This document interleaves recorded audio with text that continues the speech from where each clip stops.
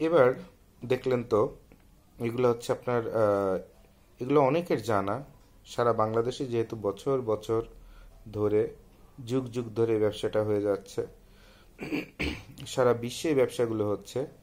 বছর বছর ধরে, যুগ যুগ ধরে। সো এটা নতুন কিছু না। আপনাদের অনেকেরই জানা এই মালগুলো কোথায় আছে। বলতে পারবেন না? মালগুলো কোথায় আছে চট্টগ্রামের? বলতে পারবেন। অবশ্যই বলতে পারবেন। তো বাংলাদেশে এরকম কিছু ব্যবসায়ী আছে যারা আপনার এই মালগুলো আনে। হয়তোবা বর্তমানে এটার উপর সিন্ডিকেট আছে, কোন একজন নির্দিষ্ট ক্ষমতাবান অথবা হাজার কোটি টাকার মালিক এই মালগুলো এনে আপনার বিভিন্ন জায়গা থেকে এনে এগুলো আপনার রিজার্ভ করে এবং এগুলো ডিস্ট্রিবিউট করে। এবং ওনার কাছে মাল নিতে গেলে একটাই কথা আছে যে, মাল বেচে লস হয়েছে এটা বলবেন না, তাহলে মালই নেওয়ার দরকার নেই। একটাই কথা কত দিয়ে নিয়েছেন ছয় হাজার? লসে বিক্রি করছেন? লসে যেমন বিক্রি করতে, করছেন, আপনি দিয়ে হবে না। যান আপনার কাছে মাল বিক্রি করব না। উনি একটাই কথা ওনার স্টাইলই একটা। এটা আমার খুব ভালো লাগছে ওনার স্টাইলটা। তো যাই হোক, এবার আপনার মালের দামও কম, বাজারও কম সরি দাম বেশি, বাজার কম। আবার অন্য সময় যেসব গাইড আপনার কোনোটা দশ হাজার থাকলে এবার সেটার দাম তেরো হাজার, চোদ্দ হাজার, এভাবে চলছে। আবার যে খুব বেশি যে মালামাল আছে তাও না। তো এখন এই গাইটের মাল নিয়ে আমি যখন কথা বলি, আপনাদের অনেকেরই মনে হয়, একটা কোম্পানি গাইটের মালের এভাবে ব্যবসা করবে? কোথায় কি? এ তো আমরাই পাই, হাতের কাছে আছে, অথবা আমরাও ওই অমুক অমুক জায়গায় যে গাইডগুলো নিয়ে আসি, এগুলো তো আমাদের জানা। তো জুবায়েদ ভাই, উনি আবার নতুন করে আমাদের কি শিখাবে? আসলে দেখেন, পৃথিবীতে মৃত্যুর আগের দিন পর্যন্ত, আগের সেকেন্ড পর্যন্ত আপনাকে শিখতে হবে। আগের সপ্তাহ পর্যন্ত আপনাকে শিখতে হবে। আপনার এই যে গাইড নিলেন, তারপরে চিন্তা করলেন যে, বিসমিল্লাহ বললে আল্লাহর নামে খুলবো গাইড বিক্রি করব, আল্লাহ দিলে ভালো ব্যবসা হবে। আর যদি ধরা খাই, একটু খারাপ মাল যদি পড়ে, কি আর করার? কারণ এই মাল তো যে আমদানি করছে, যে বিক্রি করছে, অথবা আমিও কিনে নিয়ে আসছি, এটা তো গাইড তো খোলার কোনো স্কোপই নাই। তো এটা একমাত্র সৃষ্টিকর্তার মানে লাক সৃষ্টিকর্তার দেওয়া লাক যেটাতে যে মাল পাওয়া যায়। আপনারা এইটুকুনি জানেন এরপরে ট্রাককে ট্রাক ভরে গত বিশ বছর ধরে মাল নিছেন। বিশাল অভিজ্ঞতা আছে এবং আপনারা তখন চিন্তা করবেন যে এ ভদ্রলোক কি বলে? ভিডিওতে তো দেখলাম ছবিতে দেখলাম উনি ওই জায়গায় যে আপনার ফ্যাশন শো করতেছে। হ্যাঁ, অথবা সেলফি তুলতেছে মানে ওই ঢাকা শহরে নতুন আসলে যেমন সেরকম একটা ভাবসাব। তো উনি আমারে কি শিখাবে? আমি এখান থেকে গত বিশ বছর ধরে নেত্রকোনাতে যাই, যে তারপরে গাইড কিনে নিয়ে আসি, খুলনা থেকে যাই গাইড কিনে নিয়ে আসতেছি, বিশ বছর ধরে ছয়তলা বাড়ি বানাইছি, উনি আমার আবার নতুন করে গাইড কি শিখাবে? আসলে ভাই, আপনাদের শেখানোর কিছু নাই। আপনাদেরকে শেখানোর কিছু নাই, বোঝানোর কিছু নাই, কিন্তু সচেতন করার অনেক কিছু আছে। যদি কিনা আপনাদের ওটা শোনার অথবা দেখার অথবা বোঝার ইচ্ছা থাকে। দেখুন, যা দেখেন, বাংলাদেশে গাইডগুলো কোথা থেকে আসে, কীভাবে আসে, এর জন্ম কি, এই জিনিসগুলো আপনারা অনেকেই আছে, ব্যবসা করেন কিন্তু জানেন না। তো ভিডিওটা আসলে এই ছোট্ট বিষয়গুলো আলোচনা করার জন্য, মনে করায় দেওয়ার জন্য করা। আপনাদের জ্ঞানের উপরে পোদ্দারি করার জন্য এই ভিডিওটা করা না। যারা জানেন না অথবা যারা নতুন, তারা এটা জানবেন। দেখেন, বাংলাদেশে গাইডগুলা কিছু ইম্পোর্টার নিয়ে আসে, যেটা আমরা সামনের বছর থেকে আমরা ডিরেক্ট ইম্পোর্ট করব আমাদের লাইসেন্সে তো এবছর আমরা গাইডের মাল সাপ্লাই দিব, এই শীতে দিব আর সামনের গরমে দেব। আর তারপরে সামনের শীতের আগের থেকে আমরা ডিরেক্ট ইম্পোর্ট করব। এখন ডিরেক্ট ইম্পোর্ট করতে গেলে এক কন্টেইনার মানে টোয়েন্টি ফিট কন্টেইনারে আড়াইশো গাইড লাগে। তো আড়াইশো গাইড যদি আমি আপনার দশ হাজার টাকা করেও ভাগ করি, তো যে টাকা প্রয়োজন, আর এরপর একটা ইম্পোর্ট ডিউটি এরপর একটা লজিস্টিক্স ভাড়া আশা করি এটা আমাদের জন্য খুব বেশি বড় কিছু হবে না। এরকম পাঁচ, দশ কন্টেনার মাল আমরা নিজেরাই নিয়ে আসতে পারব প্রতি এক মাস, দুই মাস পর পর। তো আমরা মানে আমি, আমাদের ডিলার মানে খানস গ্লোবাল প্লাস তার ডিলার সবাই মিলে যে নেটওয়ার্ক তৈরি হচ্ছে, এই ডিলারে দশ কন্টেনার মাল আনা প্রতি মাসে কোনো বিষয়ই না। ওয়ান টু থ্রি সো আমরা ইম্পোর্ট করব যাতে আমাদের ডিলারের কস্টিং কমে। তো গাইটের জন্মটা কোথা থেকে অথবা তার কোয়ালিটিটা কীভাবে নির্ধারণ করবেন সেটা একটু শুনে নেন। দেখেন, আপনার এই গাটিগুলো বেসিক্যালি হিউজ প্রোডাকশন হয় জাপান, কোরিয়া, তাইওয়ান থেকে। সব থেকে বেশি তাইওয়ান থেকে আসে, কারণ তাইওয়ানের মানুষ প্রচুর পরিমাণ কাপড় ইউজ করে এবং প্রচুর পরিমাণ এগুলো অল্প কয়েকদিন পরে এটাকে ইয়ে করে দেয় সেল করে দেয়। অথবা দিয়ে দেয়। এটা খালি খালি নতুন মডেল কিনবে, নতুন মডেল কিনবে। যার কারণে আপনার তাইওয়ানে এই গাটিগুলোর জন্ম হয় অনেক বেশি। সো তাইওয়ানের থেকে বিভিন্ন কোম্পানি এগুলোকে কালেক্ট করে করে তারপরে এগুলোকে বিশ্বের বিভিন্ন দেশে আফ্রিকান কান্ট্রি উন্নয়নশীল দেশ, গরিব দেশ যেগুলা তাদের কাছে পাঠায়। তো তাইওয়ান থেকে যে যে ব্র্যান্ডে আপনার মাল বাংলাদেশে আসে,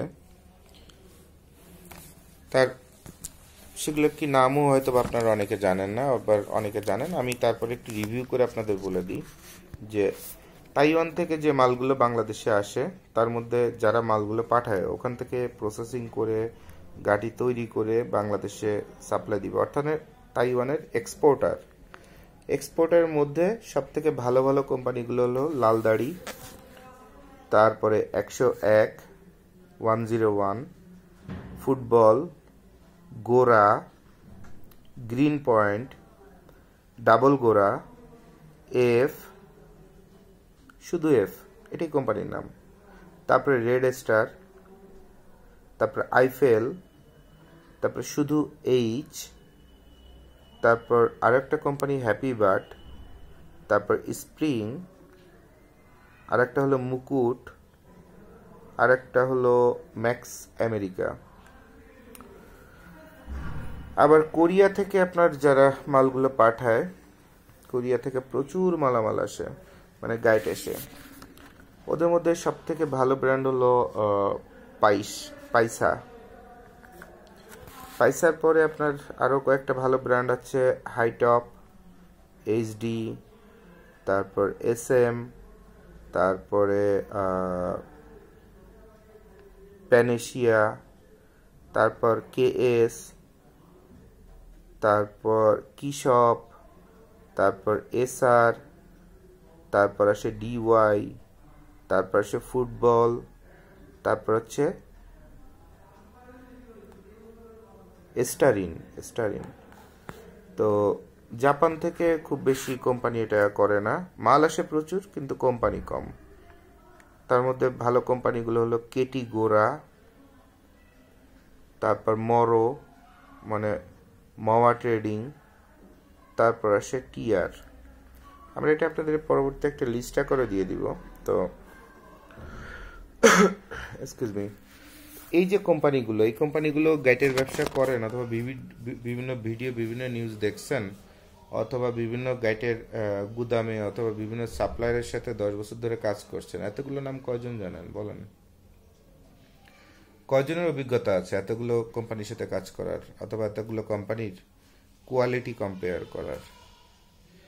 কোন কোম্পানির গাইডে কোন সিজনে কেমন আসতেছে? আপনারা তো শুধু যান গাইড কিনে নিয়ে চলে আসেন। আর আমি জোয়েদ আপনাদের জন্য যেটা করি, কোন কোন কোম্পানির স্ট্যাটাস কি? তারা মার্কেটে শেয়ার কত পার্সেন্ট আছে? তার মার্কেট ভ্যালু কত আছে? তার কোম্পানির ফিউচার এগুলো নিয়ে আমার এখানে বসে গবেষণা করতে হয়। এখন বলতে পারেন যে আপনার কোরিয়ার পায়সা কোম্পানি সম্পর্কে জুবাইদ ভাই, আপনি বাংলাদেশে বসে মিয়া দুই টাকার ব্যবসা করেন, আপনি পায়সা কোম্পানিরে আপনি এখানে বসে মনিটরিং করেন। মিয়া ফাজলেমের জায়গা পান না না? কথাটা বলতেই পারেন। কারণ বলার ধরন সর্বনিম্ন যেটা হবে সেটাই আমার বলা উচিত। বেসিক্যালি পায়সা কোম্পানি সম্পর্কে যত নিউজ আছে, যত আপডেট আছে পায়সা কোম্পানির এমপ্লয়ীদের সাথে পর্যন্ত যোগাযোগ কিন্তু আমার হোয়াটসঅ্যাপে বিভিন্ন জায়গাতে বিভিন্নভাবে হয়। একজন এমপ্লয়ের কাছ থেকে আমরা অনেক ইনফরমেশন পাই গুড বেটার বেস্ট ওখানে অনেক মেয়ে আছে যারা আমার ফ্রেন্ড অনেক ছেলে আছে যারা আমার ফ্রেন্ড কেটিগোরা জাপানের কেটিগোরাতে অনেক এমপ্লয়ি আছে যারা আমার ফ্রেন্ড আমার নেটওয়ার্ক কারণ আমি ফ্রেন্ড বানাইছি। বানায় ওদের ইন্টারনাল সব নিউজ তার পেপারে যায় না। আমি যেমন আমার কোম্পানির দুর্নাম সবার আগে আপনাদের ভিডিও করে পর্যন্ত বলে দিই। বাংলাদেশে এমন একটা কোম্পানি কেন? পৃথিবীর এমন একটা কোম্পানি দেখাতে পারবেন? যারা নিজের দুর্বলতার কথা স্বীকার করে, বরঞ্চ ভালো ভালো বলে খালি মার্কেট থেকে টাকা নিতে থাকে আর প্রোডাক্ট বেচতে থাকে। তো প্রতিটা কোম্পানিতেই কিন্তু এমপ্লয়ীদের একটা বিষয় থাকে যে, পাঁচ বছর ধরে কাজ করতেছে, তার মনের একটা কষ্ট থাকে। তখন আপনি ওই কোম্পানি যখন এমপ্লয়ি হবেন ওই ওই এমপ্লয়ির যখন আপনি ফ্রেন্ড হবেন, ও কিন্তু কষ্টের কথা আপনাকে বলবে যে, ভাই, কাজের চাপ অনেক বেশি, কারণ কোম্পানি এখন কোয়ালিটি নিয়ে আরও প্রেশার দিচ্ছে, এটা দিচ্ছে। তখন কিন্তু আপনার বোঝা হয়ে গেল যে, জাপানের কেটিগুড়াতে যে এমপ্লয়িগুলো আছে, তারা কাজের চাপে পড়তেছে এবং তাদের প্রচুর রুলস অ্যান্ড রেগুলেশন এবং তারা কোয়ালিটির দিকে আরেকটু ভালো নজর দিচ্ছে। অর্থাৎ কি? অর্থাৎ কেটিগুড়ার মাল নেওয়া যায়। তখন আমি জোবায়দ এই বাংলাদেশে বসে আপনাকে বলছি, ভাই কেটিগোড়ার মালটা নেন। কারণ তিন মাস আগে তার সঙ্গে আমার কথা হয়েছে, ছয় মাস আগে তার সাথে আমার কথা হয়েছে। এক মাস আগে কথা হয়েছে কোম্পানি ওই এমপ্লয়ীদের উপর হিউজ প্রেশার দিচ্ছে হিউজ কোয়ালিটি নিয়ে কাজ করতে বলতেছে। অর্থাৎ কি, এক মাস পরে যে মালটা আসছে, মালটার মধ্যে কোয়ালিটি যথেষ্ট ভালো আছে এভারেজ কোয়ালিটি তখন আপনাকে আমি বলছি, ভাই, ওদের উপর রিসার্চ করেই আমি মাল বিক্রি করি। কিন্তু আপনার যদি এইটুকুন বোঝার মতো ক্ষমতা না থাকে, অথবা আপনার মাইন্ড যদি এত বড় না থাকে, আপনি চিন্তা করুন কি বলে? বাংলাদেশে বসে কেটি করার মতো হাজার কোটি টাকা, অথবা পয়সা কোম্পানি অথবা হাইটপের মতো কোম্পানি অথবা তাইওয়ানের লালদাড়ির মতো কোম্পানিতে জোবায়দ ভাই বাংলাদেশে মনিটরিং করে। ভাই, সব জায়গাতে গোয়েন্দা মার্কেটিং সব জায়গাতে স্কোপ আপনারা যত সহজভাবে অমুক জায়গায় অমুক ভাই বলছে ওই গাইড কেনা যাবে, তাহলে দুই টাকা কমায় গাইড কিনে নিয়ে এসে এলাকায় বিক্রি করি।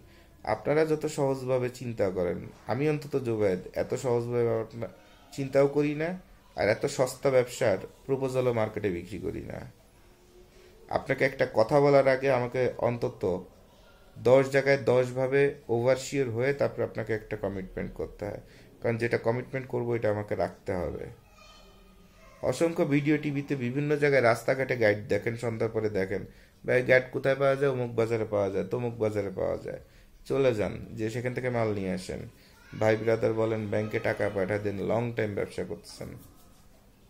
আপনারা জানেন না যে এই সামনের শীতে, সামনের সামারে যেমন এখন উইন্টার চলছে, জাহাজে এখন যে মাল আসবে, বেশিরভাগ সামারের মাল আসবে। এই মালটার কোয়ালিটি কি হবে? আমি কিন্তু জানি।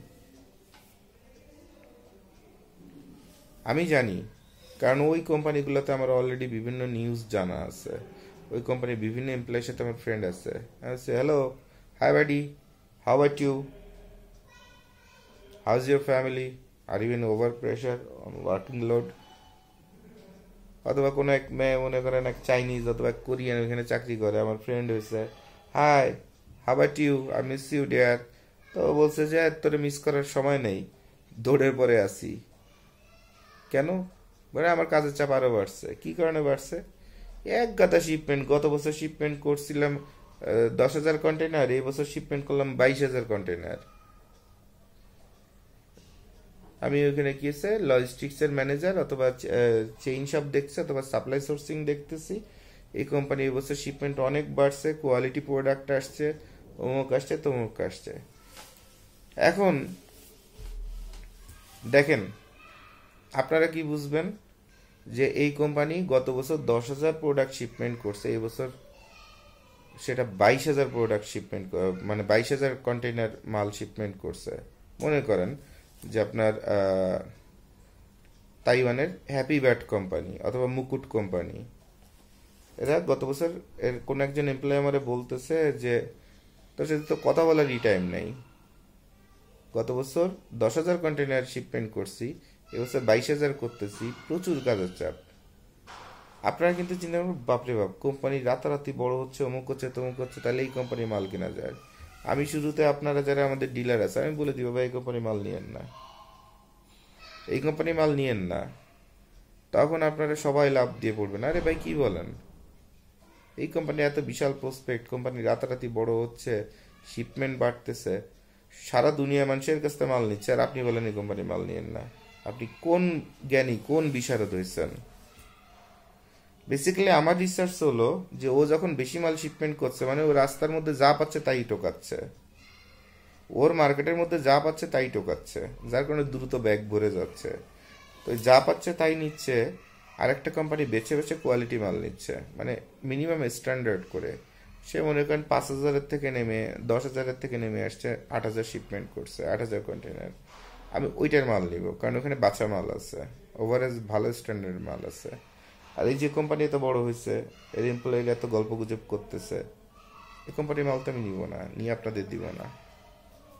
কারণ এত বেশি মার্কেটের থেকে টোকাচ্ছে সেরা ফাটা জিনিস। এর কন্টেনারে অন্তত আপনার ফিফটি পার্সেন্ট মাল রিজেক্ট করবে আর যে অল্প অল্প কাজ করছে, ওর এখানে সর্বোচ্চ আমার থার্টি পার্সেন্ট মাল রিজেক্ট যাবে। তা আমি যদি কম রিজেক্ট মাল আমার ডিলারদের অথবা আমার কাস্টমারদের দিতে পারি দেন আমার রেপুটেশন তৈরি হচ্ছে। কিন্তু আমি কিন্তু কি করতেছি? ওখান থেকে মাল এনে এখানে দিচ্ছি। আমার পরিশ্রমটা শুধু আমার টেকনিক্যাল জ্ঞান অথবা এই যে ইচ্ছা শক্তি অথবা রাত ভর সারাদিন কাজ করে রাতে আবার ল্যাপটপে বসে এগুলো নিয়ে পড়াশোনা করা, গবেষণা করা, চিন্তা করা মাইন্ড সেট আপ করা যে আমি মার্কেটে দেবোটা কি? অথবা আমার উপর যারা ভরসা করে আছে, তাদের আমি খাওয়াবোটা কি? সো গাইডের অনেক ছবি দেখলেন, অনেক ভালো মন্দ কথা বললাম। কথাগুলো উপস্থাপনা সুন্দর না, আবার স্টাইলও সুন্দর না। কিন্তু আমার কথাগুলোর মধ্যে একটা জিনিস আপনাদের বোঝানোর চেষ্টা করলাম। মার্কেট কি বলে? আপনজন কি বলে? তারপর আপনার ওই অমুক ভাই অমুক বলছে, অমুক চাচাই অমুক বলছে। এগুলোর উপর কখনো বিশ্বাস করে, ভরসা করে বসে থাকবেন না। সবাইকে বিশ্বাস করবেন সবারটা শুনবেন সবারটা জানবেন। এরপর আপনার ব্রেন দিয়ে রিসার্চ করবেন এবং ব্রেন যেটা বলবে, বলে না যে নিজের বুদ্ধিতে বিষ খেয়েও মরা ভালো? এটা খুব বাস্তবসম্মত একটা কথা বলে। কারণ ওই মৃত্যুর মধ্যে একটা স্যাটিসফ্যাকশন থাকে। যে না, আমি কাজটা করতে গেছিলাম, পারি নাই। দিস ইজ এটা আমার কোয়ালিটির সমস্যা অথবা আমার দক্ষতার সমস্যা অথবা আমার bad luck whatever it is তাতে একটা স্যাটিসফ্যাকশন থাকে। মৃত্যুর সময় মনে হয় যে, না, আমি তো আমার আমার কোয়ালিটিতে মারা যাচ্ছি। আমার অযোগ্যতায় মারা যাচ্ছি। কিন্তু আপনি যদি মারা যাওয়ার সময় দেখেন যে অমুকের বুদ্ধি খেয়ে, বুদ্ধি শুনে এইটা খাইছি, খেয়ে তারপরে এই এখন মারা যাচ্ছি। তখন কিন্তু আফসোস আফসোস আফসোস। তা আফসোস নিয়ে কেন মারা যাবেন রে ভাই? ব্যবসা সেম জিনিস। অন্যের বুদ্ধিতে টাকা, এই আপনার এই যে টাকা, পয়সা, মালামাল অমুক তমুক বিভিন্ন। আর এখন তো মনে করেন ইউটিউবে আপনার ওই, ভাই সাবস্ক্রাইব করেন লাইক বাটন চাপ দেন সবার আগে ভিডিও পেতে হ্যান করুন ত্যান করুন মানে এইসব হয়ে তো একটা হুলস্থুল অবস্থা হয়ে গেছে। আর কে যে কি মাল বিক্রি করে সেটাই বুঝে না। কে যে কি বলে। আমি এর মাঝে একজনকে জিজ্ঞাসা করলাম যে, একটা ভিডিও দেখে মানে বিরক্তির চোটে আমার হাসি আসছে, বুঝছেন? পরে আমি তার সাথে সামাও যোগাযোগ করে প্রথমে বললাম যে, স্যার, আমি কাইন্ডলি একটু আপনার সঙ্গে কথা বলতে চাই, একটু শিখতে চাই। স্যার, আপনার ভিডিও দেখে আমার খুব ভালো লাগছে, অমুক তমুক। তো এই যে বলছি, তো গলার ভয় শুনে বুঝতেছি বোধহয় ম্যাট্রিক পাসটা অথবা ইন্টার পাস করছে একটু ভিডিও টিডিও বানায়। হ্যাঁ কিন্তু ভিডিওটা ডায়ালগ টালাগ যা ছিল অথবা স্টাইল যা ছিল মানে বিশাল ব্যাপার বিশাল ব্যাপার। বুঝে না, আমার চোখে পড়ছে। আমি তো কল দিচ্ছি কথাবার্তা বললে এখন সে ছেলে তো আপনার চরম একটা পাঠে চলে গেছে হ্যাঁ? যে, ও আচ্ছা আচ্ছা ঠিক আছে, আপনি এটা করেন, ওটা করেন হ্যান ত্যান মানে এই স্টাইলে প্ল্যাটফর্মে কথা বলতেছে। পরে আমি একটা একটা করে তার কথা কোশ্চেন করতেছি, তো লাস্টে সে আমারে বলে যে, গুরু, আপনি করেন কি? তা আমি বলছি, ভাই, কি যে বলেন না, আমি ছোটখাটো মানুষ, আমি এই লাইনে একটু নতুন, বোঝার চেষ্টা করতেছি। তো এরপর বলে যে, ভাই, আমরা তো একটু ভিডিও বানাই, কিছু ভিডিওতে কিছু টাকা পয়সা কামাই করি, এই। তো তখন আমি ওনার বললাম যে, ভাই, আপনি যেটা দিয়ে ভিডিও বানায় বিক্রি করেন আর যে ইনফরমেশনগুলো দেন, সেটা বাস্তবতায় যদি আপনি না বুঝেন, এটা কত মানুষের ধ্বংস করতে পারে? Do you have this idea আপনার যদি সঠিক যদি জ্ঞান না থাকে আপনি খালি বই খাতা কলমে একটু এমবিবিএস করে ডাক্তার হয়ে সার্টিফিকেট একটা ঝুলাই দিয়ে বসে আছেন। বাইরে থেকে মানুষ দেখতেছে, আপনি একজন এমবিবিএস ডাক্তার। দৌড়ায় চলে আসতেছে, ভাই, আমার পেটে ব্যথা। পেটে ব্যথার জন্য আসছে, আপনি মেট্রিল ফিলাজিল ধরায় দিচ্ছেন আরে ভাই পেটের মধ্যে তো টিউমার আছে, ওর পেটের মধ্যে তো ক্যান্সারের জাম আছে, ওর পেটের মধ্যে তো আরও কত রকমের সমস্যা হইতে পারে। পেট তো সামান্য জিনিস না, তাই না? আপনি আপনার ফি ঠিকই পাইছেন, বারোশো টাকা, আটশো টাকা, পাঁচশো টাকা, এরপর কটা ওষুধ ধরায় দিছেন কটা চেক আপ ধরায় দিছেন, সেইখান থেকে আপনি কমিশন পাইছেন। মাশাল্লাহ আপনার শ্বশুরবাড়ির লোকজন আপনার বউও চিন্তা করছে, জামাই, ডাক্তার জামাই বিয়ে করছে। এখন তো ওই যে শ্বশুররা কি মেয়ে বিয়ে দিতে গেলে ডাক্তার ইঞ্জিনিয়ার খুঁজে, হুম। তো মাশাল্লাহ ছেলে মেয়ে বিয়ে দিছি, জামাই ফ্ল্যাট কিনছে, গাড়ি একটা আছে অমুক তমুক কিন্তু বেশিরভাগ পেশেন্টের কমপ্লেন, বাংলাদেশে ডাক্তার দেখালে ভালো হয় না, অমুক দেশে দেখালে ভালো হয় না, ব্যাংকক যাও, সিঙ্গাপুর যাও, হ্যান যাও। বাংলাদেশের মন্ত্রীরা তো বাংলাদেশে ডাক্তার দেখায় না। আপনারই তো জানেন, এটা তো আমার কারও কোনো ডাক্তারের প্রতি যে আপনার ইয়ে আছে মানে দুর্নাম আছে অথবা কোনো ব্যক্তি আক্রোশ আছে তা না। আপনার নিজেরাই দেখেন, বাংলাদেশের মন্ত্রী, মিনিস্টারের কিছু হইলেই দৌড়ায় সিঙ্গাপুর চলে যায়, ব্যাংকক চলে যায়, যার টাকা আছে সে ব্যাংকক চলে যায়। কি কারণে? মানে আস্থা নাই। অর্থাৎ কি জানেন? অর্থাৎ আপনাকে বলে দিই শিখাই দিই, মন দিয়ে শুনেন। আমি অনেক জার্নি করে আসছি, আজকে অনেক কথাই আপনাদের সাথে বলতেছি। আমি তিন চার দিন নন স্টপ নাইট জার্নির উপরে, সারাদিন নাইট জার্নি করছি, সারাদিন কাজ করছি। যার কারণে আমার চোখে একটু ঘুম ঘুম ভরা। তো আপনাদের বলে দিই যে, এই যে এমবিবিএস এই এমবিবিএসগুলোর আমি বলি ভাই এমনি বিএস এমনি বিএস কি? মানে এই বিএস এর মধ্যে কোনো বিএস টিএস কিছু নাই। কিচ্ছু নাই এর মধ্যে। কারণ আপনাকে আগে বুঝতে হবে আন্ডারস্ট্যান্ডিং দ্য পেইন আপনি চোখের ডাক্তার, কানের ডাক্তার, পেটের ডাক্তার, পায়ের ডাক্তার, হাড়ের ডাক্তার, কিসের ডাক্তার সেটা দেখার বিষয় না। বিষয়টা হচ্ছে যে আপনার সবার আগে একটা কমন সেন্স থাকতে হবে যে একটা পেশেন্ট একটা পেইন ছাড়া আপনার কাছে কোনোদিন আসবে না। তার হয় দাঁতে ব্যথা হবে, না চোখে ব্যথা হবে, না মাথা ব্যথা নয় হাড়ে ব্যথা নয় গিরায় ব্যথা। একটা ব্যথা তার হবেই। এবং এই ব্যথাটা সবার আগে ব্যথা থেকে আপনাকে খুঁজে খুঁজে বের করতে হবে। কোন জায়গায় কোন রোগের কারণে এই ব্যথা তৈরি হচ্ছে? হতে পারে ঘাড়ের একটা ব্যথার উৎপত্তি স্থল পায়। কিন্তু ব্যথাটা কি কারণে এবং এর উৎপত্তি স্থল কোথায়? সেইখানে খুঁজে সেই ব্যথার প্রতিষেধক যে ওষুধটা আছে, সেই ওষুধটা সবার আগে আপনাকে প্রয়োগ করতে হবে, যেটাকে ডক্টর অফ মেডিসিন বলে। এবং এই প্রয়োগটা করার পরে যদি সেটা ইফেক্ট যদি না করে, তখন তাকে তার ব্লাড গ্রুপটা কি? ব্লাড গ্রুপ এসআর রিপোর্ট থেকে পাওয়া যায়। ব্লাড গ্রুপের সঙ্গে সব ওষুধে কাজ করবে না। আমার যদি একটা গ্যাসের ওষুধ সেকলোতে কাজ করে, আপনার সেকলোতে কাজ নাও করতে পারে। একটা ব্লাড গ্রুপের এসআর এর সাথে আপনার একটা মেডিসিনের গ্রুপের মিল থাকে। আপনাকে ব্লাড নিজের ব্লাড গ্রুপ অথবা এসআরটা জেনে ওই, ওইটা কোন ওষুধে ধরবে, সেই গ্যাসের ওষুধটা আপনার খাইতে হবে। সব গ্যাসের ওষুধ আপনার শরীরে কাজ করবে না। আপনি দোকানে যে বললেন, ভাই, গ্যাসের ওষুধ দেন, দোকানদার দিলে কাজ করল না। আপনি বলতে পারবেন না যে দোকানদার ভুয়া ওষুধ বিক্রি করে, তো ওষুধ সব দুই নম্বর। এটাও বলার কোনো স্কোপ নাই। তাহলে দেখেন সব কিছু হচ্ছে গবেষণা। আপনার ব্লাডের এসআর কি, সেটার সাথে কোন গ্রুপের ওষুধটা যায় সে ওষুধটা আপনি খাবেন। খাওয়ার পরে দেখবেন যে আপনার গ্যাসের সমস্যাটা চলে যাচ্ছে। তো ব্যথা হচ্ছে সেরকম একটা জিনিস যে ব্যথার উৎপত্তি কোথায় সেটা আপনাকে খুঁজে বের করতে হবে। তো বাংলাদেশের এম, এমবিবিএস অথবা এমনিবিএসগুলা ওই গণধরে ভাই, পেটে ব্যথা, যান। পেটে একটা প্রথমে আল্ট্রাসাউন্ড করেন, ধরা পড়ে নাই। এরপর করেন একটা সিটি স্ক্যান ধরা পড়ে নাই। এরপর করেন একটা এমআরআই তাও আবার আমার অমুক হসপিটালতে অথবা অমুক ডায়াগনস্টিক সেন্টারেতেই করতে হবে। মোটামুটি আপনার এই ব্যথার চিকিৎসা করতে করতে আপনার ব্যথা যাবে বেড়ে, টাকা পয়সা সব শেষ। এরপর টাকার অভাবে আপনি ব্যথাতেই মরে যাবেন, শেষ।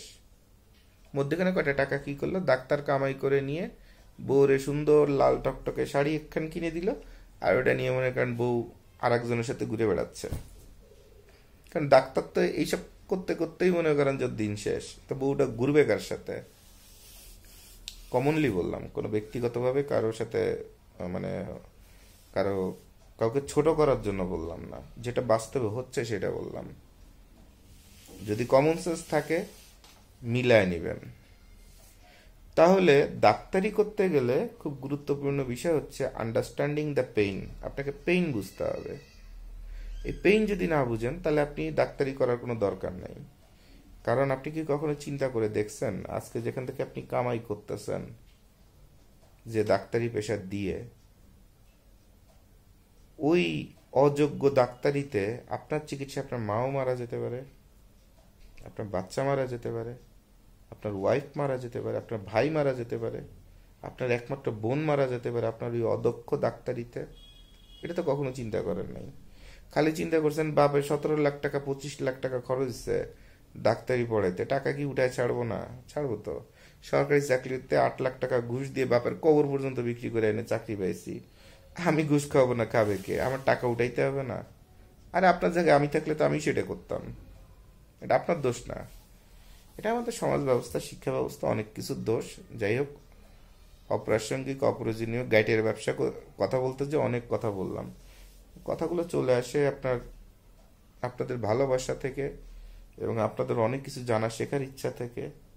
তো এই জন্য কথাগুলো বলি। তো আন্ডারস্ট্যান্ডিং দ্য পেইন পেইন যদি বুঝতে না পারে, তাহলে ডাক্তারি পড়ার দরকার নেই। আর এটা বুঝতে গেলে আপনাকে কি করতে হবে? সবার আগে।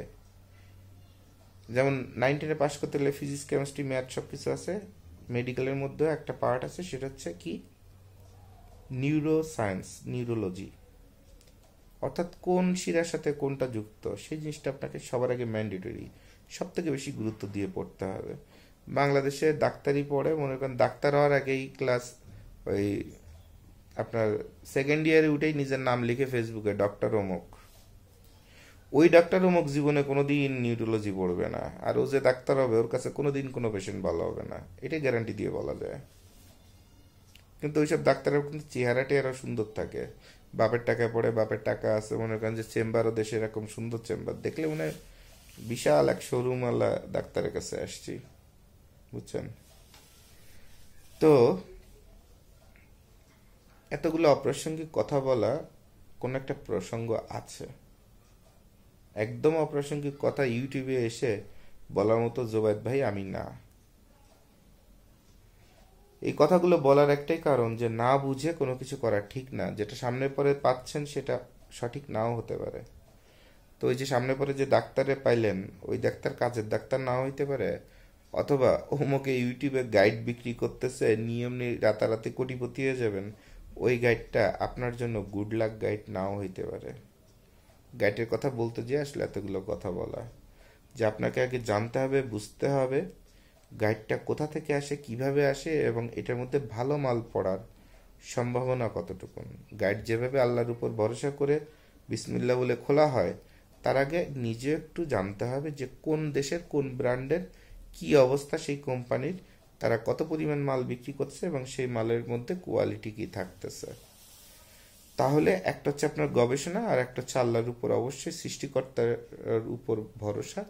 দুইটা মিলায় যে যখন আপনি গাইডটা খুলবেন, তখন আমি আপনার জোবায়দ ভাই আপনাকে কিছুটা আশ্বস্ত করতে পারব যে আশা করি ভাই আপনি মালটা নিয়ে ঠকবেন না। তা আমি জোবায়দ, যখন আপনাদের একটা কথা বলি অনেক কিছু চিন্তা করে বলি। হয়তো বা অনেক কথা বলে ফেলি, অপ্রাসঙ্গিক অথবা অনেক গল্প স্বরেও ব্যবসাকে সহজ করে ফেলি। যেমন আমার personal career life computer engineering science computer science and engineering আমি সিস্টেম অ্যাডমিনিস্ট্রেটর হিসেবে ষোলো বছর দায়িত্ব পালন করছি। আমেরিকা, ইংল্যান্ড, বিভিন্ন দেশে, বিভিন্ন সার্ভার আমি বাংলাদেশে কন্ট্রোল করি। তাদের সারা বছরের দায়িত্ব পালন করি। বাংলাদেশে অনেক কর্পোরেটের যত সিকিউরিটি সার্ভার এগুলো আমি আউটসোর্সিং করে বিভিন্নভাবে দায়িত্ব পালন করি। কিছু বেতন পাই, কিছু পেমেন্ট পাই, করছি। আইটি অ্যাডভাইজার তারপরে আপনার বিভিন্ন জায়গাতে ইন্টারভিউয়ের জন্য যাই, যে ইন্টারভিউ নিতে হবে বোর্ড অফ ডিরেক্টরসে থাকতে হবে। আমি তো কোনোদিন আমার জীবনে আইটির আইটি টেকনোলজি এগুলো কারোর সাথে কোনো আলোচনা করতে যে একটা টার্মসও ইউজ করি না। একটা টার্মসও ইউজ করি না। কোন একটা ইউজার অথবা কোনো একটা কাস্টমারের কোনো একটা প্রবলেম হয়েছে হ্যাঁ টেকনিক্যাল টেকনিক্যাল একটা প্রবলেম হয়েছে। এখন যদি উনাকে আমি কম্পিউটারের ভাষায় যদি বলতে যাই, উনি তো কিছুই বুঝবে না। তো আমি কি করি? সবার আগে ওনাকে ডিফারেন্টভাবে ডিফারেন্ট একটা ব্যক্তিগত উদাহরণ দেই। পরে ওনার আসছে হাসি, যে বাইরে কি জিজ্ঞাসা করলাম? কি বলল? কোনটার সাথে কোনটা মিলে এলো? এরপর যে, ওই ডিফারেন্ট বিষয়টাকে কম্পিউটারের মধ্যে শিফট করে যখন তাকে বুঝাই, তখন তার কাছে মনে হয় পৃথিবীর সবচেয়ে সহজ জিনিস আমি তাকে বুঝাই দিচ্ছি। এটা বোধহয় মূল্যহীন তবে এটা এত ইজি তার কাছে মনে হয় এটা এত ইজি কিন্তু আমি শুরুতেই যদি বলতাম যে, ভাই it's a very critical problem এটা অমুক অমুক অমুক অমুক অমুক।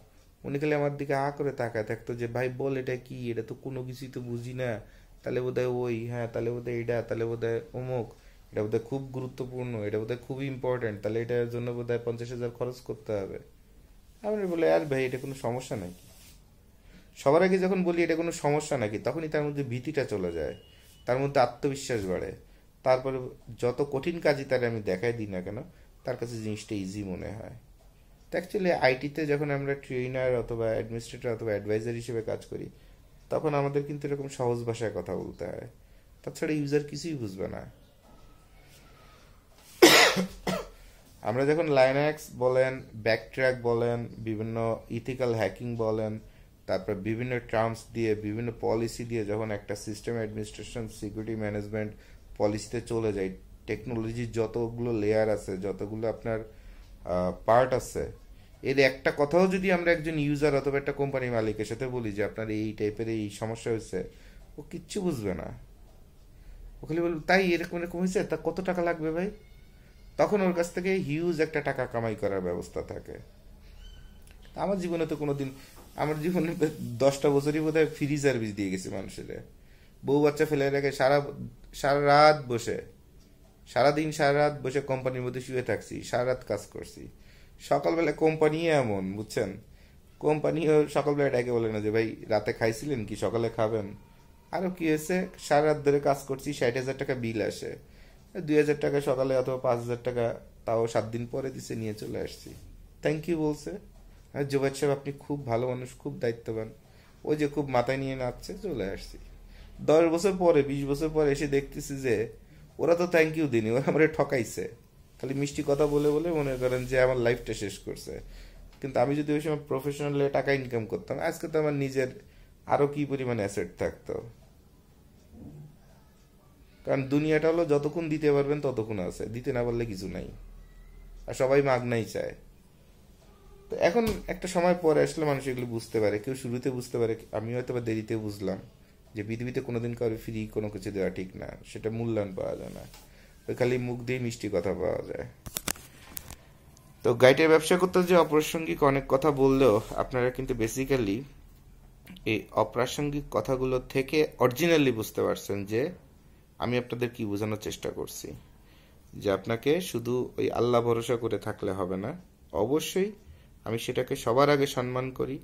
কিন্তু না জেনে ভাগ্যের দোষ, চেষ্টা না করে ভাগ্যের দোষ, সৃষ্টিকর্তার দোষ, তারপরে ব্লেম দেওয়া, এই আলতু ফালতু বিষয়গুলো মাথা থেকে সবার আগে বের করবেন। সবার আগে চিন্তা করবেন